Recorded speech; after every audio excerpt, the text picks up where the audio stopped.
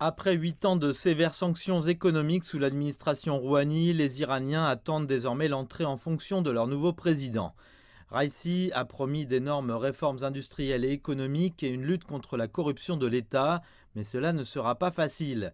Il héritera d'une économie avec 43% d'inflation, 10% de taux de chômage et un taux de croissance inférieur à 1%.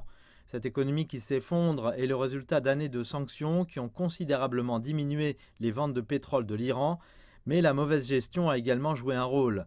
La mauvaise performance du secteur industriel a aggravé la situation, tant pour les producteurs que pour les consommateurs.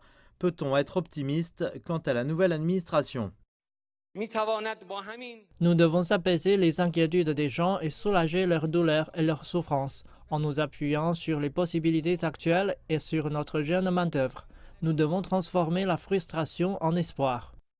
De nombreux experts pensent qu'une relance économique est encore possible, mais dépend de certains facteurs fondamentaux.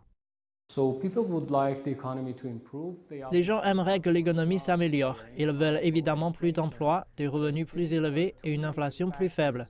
Mais je pense qu'il y a deux facteurs majeurs qui détermineront la trajectoire économique au cours des quatre prochaines années.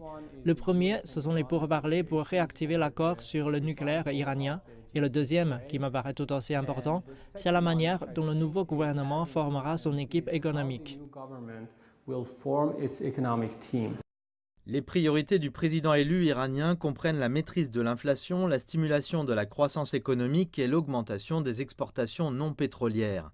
Mais chacun de ces objectifs requiert des actions et des conditions politiques favorables. Malgré tous les obstacles sur la voie du président élu pour reconstruire l'économie iranienne, la population espère un meilleur niveau de vie.